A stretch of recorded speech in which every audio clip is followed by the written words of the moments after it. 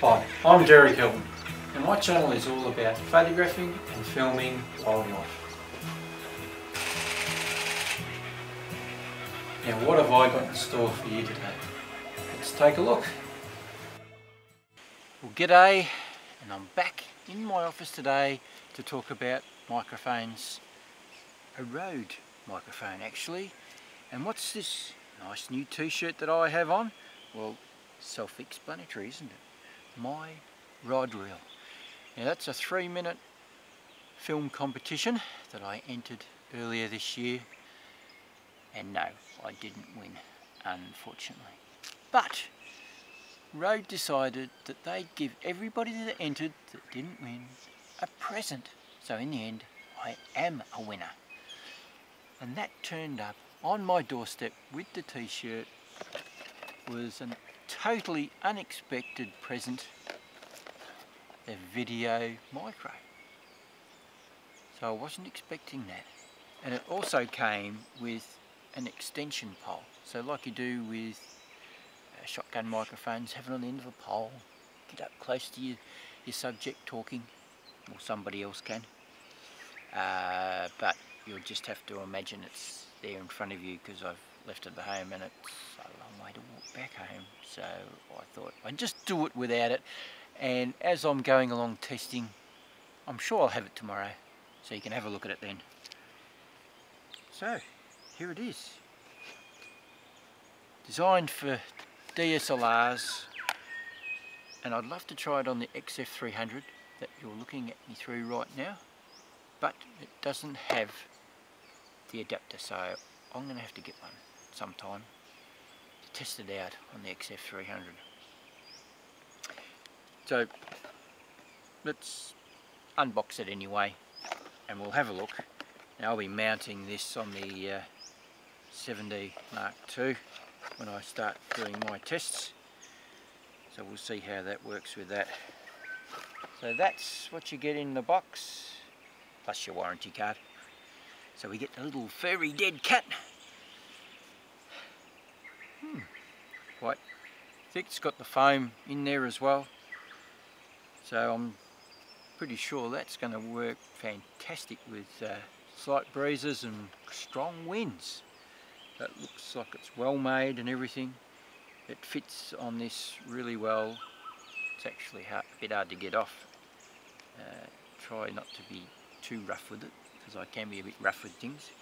So, okay, what about the microphone itself? That is really quite weighty for its size. It's not what you'd expect when you uh, see it on the box it's cast. I'd say the whole thing feels like cast to me. So this is going to be a very sturdy, robust microphone, I'd say. Now the thing to note about these is there's no battery. Goes off the power of your camera. Now the 7D Mark II is very heavy on batteries. So how much will it drain on it? Will it make it go a lot, lot quicker or will it just take a little bit? Who knows? We'll test that, see what it does. But it's quite heavy and uh, very sturdy and strong feeling in the hand. Birds singing up there, the grey thrush. Love to hear them. Always uh, lovely to listen to. Now, it's all plastic the mount. So at first glance you sort of think, whoa, I can break this quite easily. Now Rode, I'm not going to give an, a, a biased opinion just because you've given it to me. I'm going to be tough on you because that's what I do. I test things out and I give people a proper review on my personal opinion. And that looks like it would break quite easily. I could break that quite easily. But in saying that, looks aren't always the truth, are they? Never judge a book by its cover, they say. And that feels quite strong, even though it's plastic. Uh, in the bit inside is rubber, very strong, thick, thickish sort of rubber. It's only slightly soft. The base is all plastic, plastic wheel, plastic base, and that is like pot riveted, some like a pot rivet together.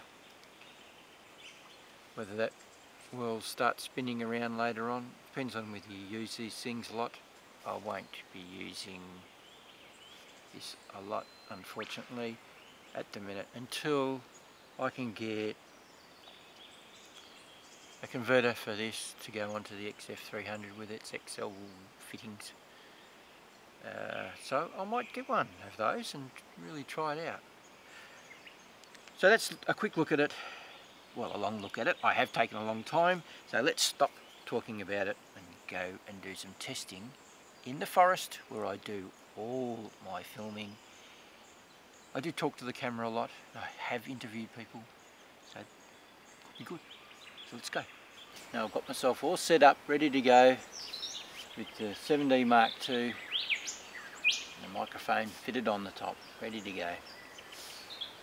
I'm in a secret location where I do a lot of filming of the agile antechinus, a little carnivorous marsupial that I've been following for quite some years now. Got tons of footage and there's a documentary in the making.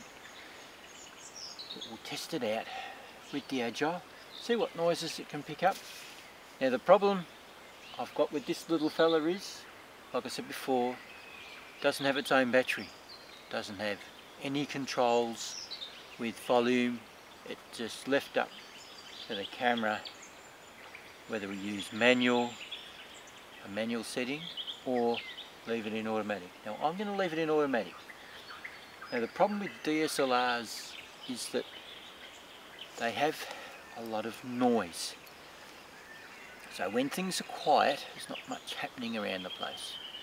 You get that horrible noise come up like um, staticky type noise. It rises up and it's not very nice to listen to at all.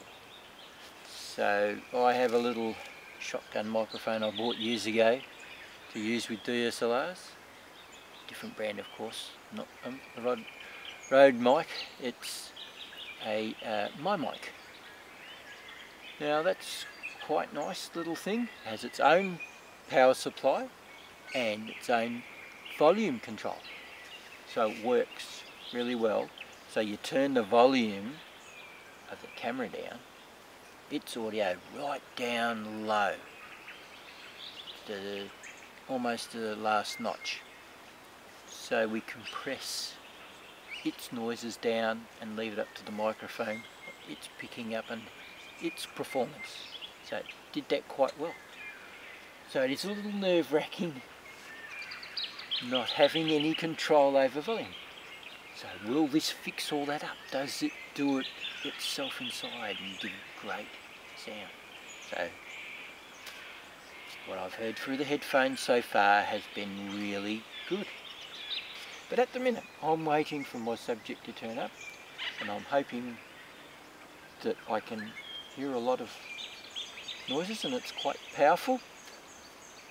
Uh, to get your clip to be more dramatic, you need all those intricate little sounds. So you, when your camera's back, and then the microphone it'll pick that up. Now, usually use a shotgun microphone that I bought. I won't mention the brand. and I have that up close and I've been getting all those beautiful noises. But will this do that? Alright, I'm going to sit here a little bit longer and I'll wait for my quarry to turn up Um, agile antechinus and we'll do some filming with it and we'll see how those results go.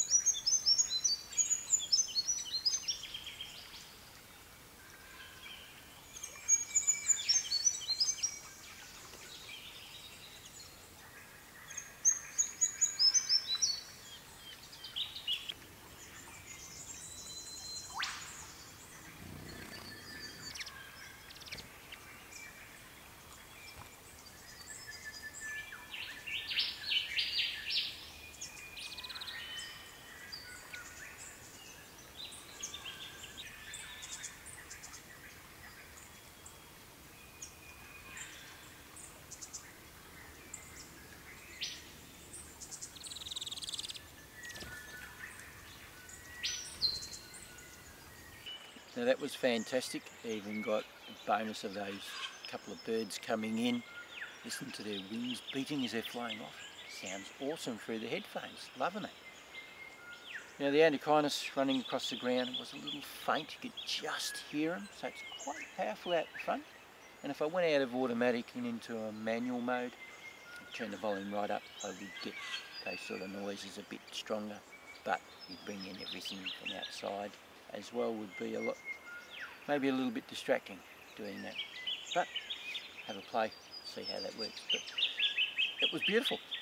Loving what I'm hearing through the headphones. Right, for this test, this is about distances. How strong it is out the front and whether it cancels out things on the side and at the back. So does it act like a shotgun microphone or whether it's just an interview microphone like I'm guessing it is. Now I haven't been online to check out what it is. Now on the box it doesn't tell you what it's designed for except that it's good for DSLRs and blah blah blah. So I'm just going to do a test and just find out for myself. Now look what I remembered today. This is the boom pole designed especially for our little microphone. Isn't that cute? Now that's a 2.2 metre long boom pole. And uh, I've already done some testing with this, but we'll do, I'll show you those, not do, we'll show you those tests a bit later on and how I've been using it. Alright, let's get started, shall we? Right, I'm two metres away in front of the camera and I'm going to keep my voice the same level right through this test. I'm now going to walk to the side of the camera, two metres away, and we'll see just how loud it is at the side here. And I've got a dead cat on because we've got some wind around on it. I'm walking around the back of the camera. I am approximately two metres away at the back. Now, now at the front, I'm going to move back to about four metres away and we'll see how that goes. So I am roughly four metres away. I'm now going to walk to the side and keep my voice pretty well much the same as I go around. So here we go, walking around four metres away from the camera. I'm at the side now, talking to you, the same level, and they're going to walk to the back. Oh, I'm at the back of the camera now, about four metres away. So there you go.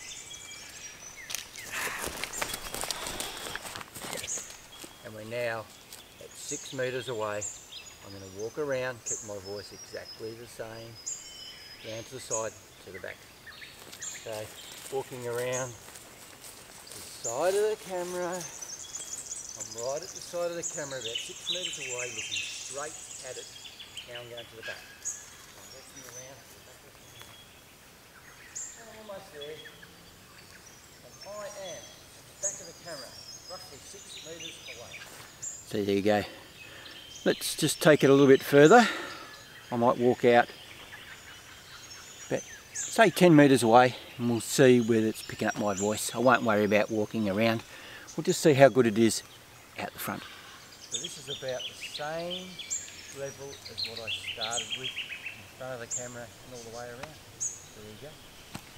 Well that is a really good test with any microphone you have to see what it can and can't do. Now I've worked out straight away that this is not a shotgun microphone. You can hear pretty well around the sides and at the back, just a little bit lower than you can out the front. But man, is this thing powerful, as you've already heard. 10 metres away. Now I have got the audio of the camera set to automatic. The manual said that we should use manual, but I just thought I'd test it out automatic and I'm loving it. It works really well and it's actually quite a smooth sound. But we'll leave all the talking about what I like about it and whatever to the end. So yes, it's a good interview microphone and I'll be using this on the XF300 because I hate using DSLRs. How about we do a wind test because it is breezy at the minute. and then take the dead cat off and we'll see how it goes. Well there you are, got the dead cat in my hand, got the XF300 on to show that the microphone is without its dead cat. I can turn that off now. So I've got a little bit of a, a slight breeze. It should be running across, running across my face. See whether it's um, distorting the microphone and picking up again. Alright, I think that's enough. We'll put this back on. Well that test certainly shows us that we need the dead cat on. That breeze distorts that microphone, something shocking, it sounds horrible.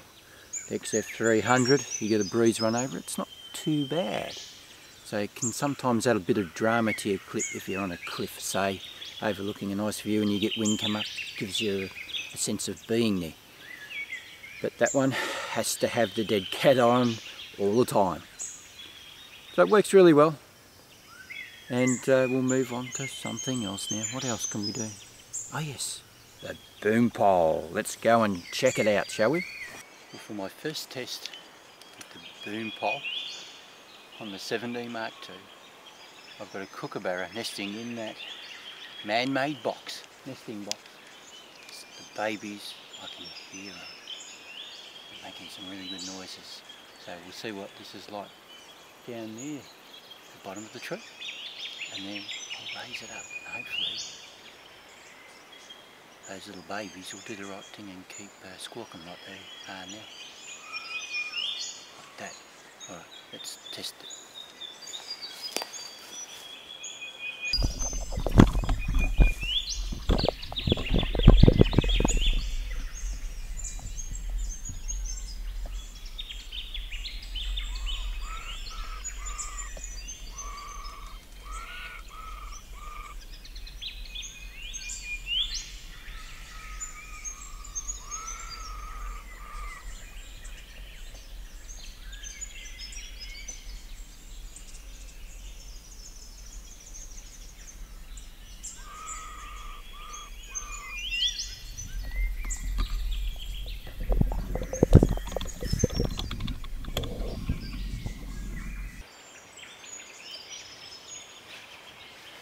Hmm, so we have a little bit of a problem there, don't we, with vibration off your hands.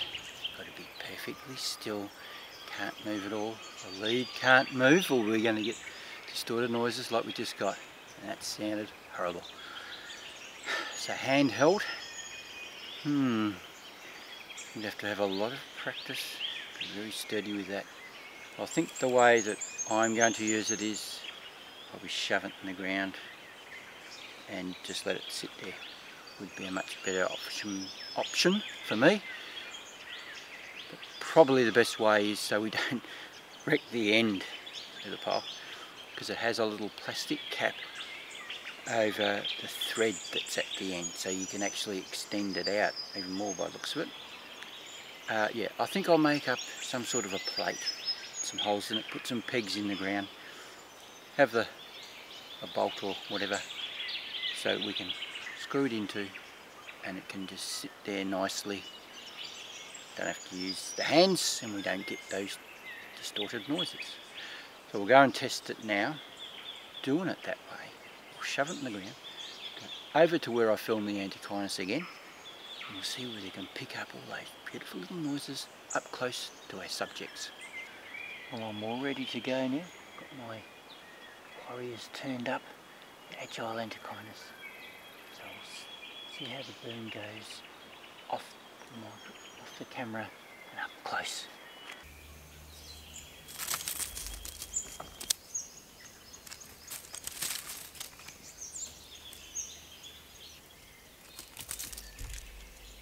Well that was an amazing event. I wasn't ready for that. Just as well I had the camera set up properly. So that was fantastic to get two agile antechinus aggressively chasing each other. I get that occasionally, but not like that. That was awesome. That went on for ages.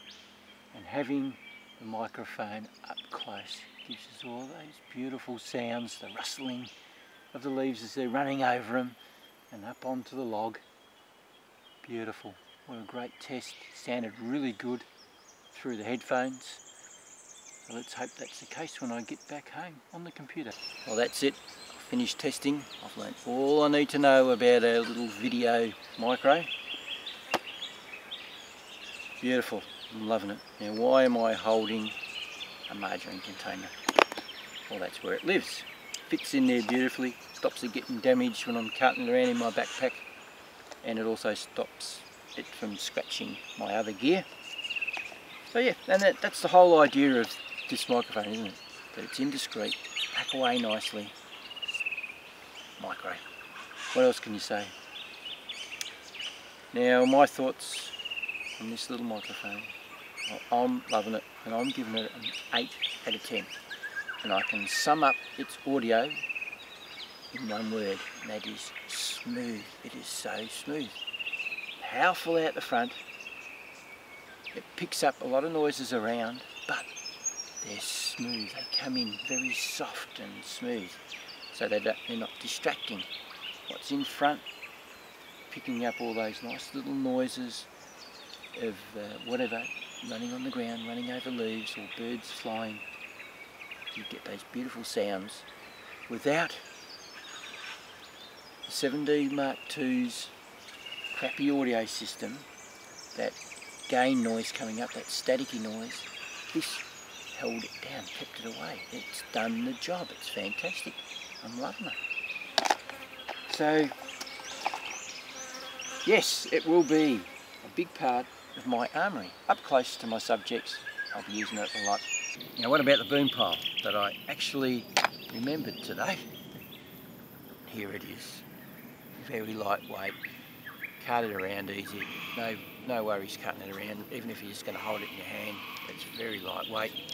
They're foam, the holders, um, yeah, you need a lot of practice to, as a boom man, I think, to not get the sounds, the vibrations and everything coming out onto it. The way I'll be using it is probably stuck in the ground or I might make a little tube that goes in the ground and this can go into. You have got that that comes out a little protector for the end either goes onto more extensions or fits onto a, maybe a freestanding base. Maybe Rode have got one of them. So yeah, that's really good. Uh, the only issue that I have is with the backpack. I have my tripod for a lightweight tripod for the XF, uh, sorry, 7D Mark II. So they both fit in there, no worries so it's great like that but I don't go anywhere without the XF300 on my shoulder on a tripod. And it's hitting that and restricting me so I end up having to carry it in my hand unfortunately. But that's the boom pole that's really good. You got got your clips for yeah, six meter long uh, cable that came with it. So they just clip in there to hold it and stop it twanging around as the wind goes on if you're holding it up handheld, which I won't be doing. Uh, I'm a one-man band anyway, so I need to be uh, on the camera, not holding microphones. So I could tape, tape it to a tree or, or shove it in the ground, whatever. Waffling on. Yeah, thank you very much, Rode, for this free present.